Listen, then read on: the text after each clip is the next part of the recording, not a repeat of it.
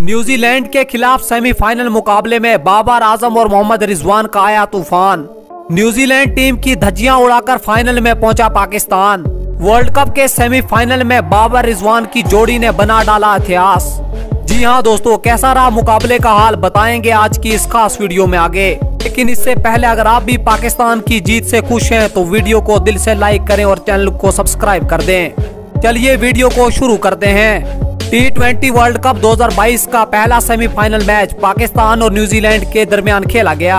आपको बता दें कि न्यूजीलैंड के कप्तान ने टॉस जीता और पहले बैटिंग करने का फैसला किया।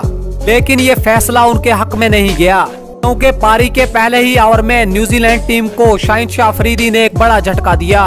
इन एलन को महज चार रन पर चलता कर दिया। इसके बाद डेविड कॉनवे और कैन विलियमसन ने पारी को संभाला, लेकिन 21 रन बनाकर खेल रहे।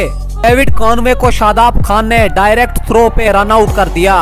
के बाद नंबर चार पर बल्लेबाजी करने आए ग्लेन फिलिप्स भी कुछ खास कमाल नहीं कर पाए, और वो आठ गेंद पर छह रन बनाकर चलते बने।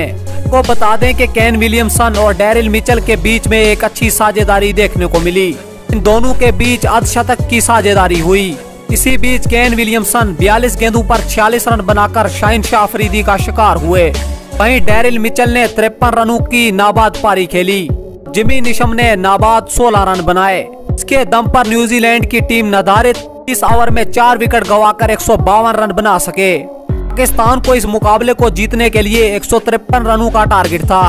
एक सौ तिरपन रनों का टारगेट चेज करने बाबर आज़म और मोहम्मद रिजवान क्रीज पर उतरे। को बता दें, इन दोनों ने आज आतिशी पारी खेली। न्यूजीलैंड के गेंदबाजों की जमकर कुटाई की। दोनों ने न्यूजीलैंड के कोई भी गेंदबाज को नहीं बख्शा।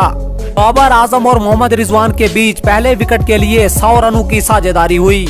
इसी बीच बाबर आज़म ने अपने 50 रन पूरे किए। हालाँकि वो 42 गेंदें खेलकर सात चौके लगाकर तिरपन रन पर आउट हो गए। वहीं मोहम्मद रिजवान ने 43 गेंदों पर पाँच चौकों की मदद से सतावन रनों की पारी खेली।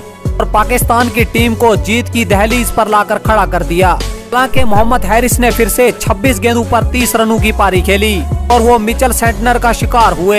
लेकिन पाकिस्तान की टीम ने इस मुकाबले को सात विकेट से अपने नाम कर दिया। और फाइनल में अपनी जगह पक्की कर ली है। दोस्तों, आपको ये हमारा वीडियो अच्छा लगा हो तो ज़्यादा से ज़्यादा शेयर कीजिए